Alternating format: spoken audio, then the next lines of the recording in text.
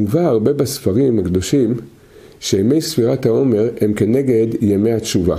מבחינת עבודת התשובה שלנו נרמזת בכל עניין של ספירת העומר. מדוע? מכיוון שעם ישראל היה במצרים, עבדים במצרים, שזה מרמז על הזמן ועל התקופות בחיים שלנו שהיינו עבדים, עבדים ליצר הרע. מצרים זה מצרים של היצר הרע, זה גבולות שהיצר הרע קבל אותנו בתוכו, ואז הקדוש ברוך הוא ברחמיו, בהתעוררות מלמעלה, השפיע עלינו אור גדול, והאדם חזר בתשובה.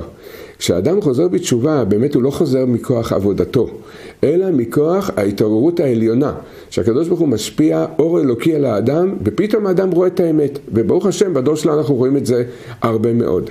אבל, אומר הזוהר הקדוש, ויותר מרחיב רבנו ארי, שמיד אחרי יציאת מצרים, 24 שעות אחרי שעם ישראל יצא ממצרים, האור, האור הרוחני, האור האלוקי, הסתלק מעל עם ישראל. ואז נשאר, עם ישראל במצב שנקרא, שנשאר רשימו, זיכרון מהאור. עם ישראל זכר שיש אור כזה, אבל לא הרגיש את האור הזה. זה, זה ימי התשובה שלנו. שאחרי שאדם מקבל את האור של הקדוש ברוך הוא, ומתקרב לקדוש ברוך הוא ולתורה ולתשובה ולאמת, האור הזה מסתלק. אבל ההסתלקות היא לא כמו שהייתה לפני שקיבלנו את זה. לפני שקיבלנו את זה לא ידענו בכלל שזה קיים. אחרי שקיבלנו את זה, אנחנו כבר זוכרים שיש כזה מקום, יש כזה מציאות, יש כזה אור אלוקי ונועם גדול מאוד, אבל אנחנו לא מרגישים אותו. וכל זה, אומר רבי נתן בליקוטי הלכות, שהסיבה הפנימית, מעמדו הקדוש ברוך הוא מנהיג אותנו כך, כי אז זה הימים שאנחנו יכולים לתקן את עצמנו. עיקר התיקון שלנו זה בתיקון התאוות המיותרות של העולם הזה, בתיקון המידות של בן אדם לחברו.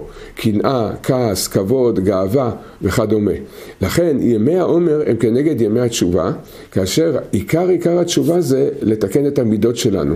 להתרחק מהתאוות המיותרות, לא צריך לאכול אה, שמונה שניצלים בסעודה, מספיק ארבע, זה בריא, ארבע שניצלים בסעודה זה בריא, לא צריך לאכול שמונה שניצלים, זה נקרא התאוות המיותרות. ויותר מזה, זה תיקון של בן אדם לחברו. בפרט בימי העומר, זה התיקון של בן אדם לחברו.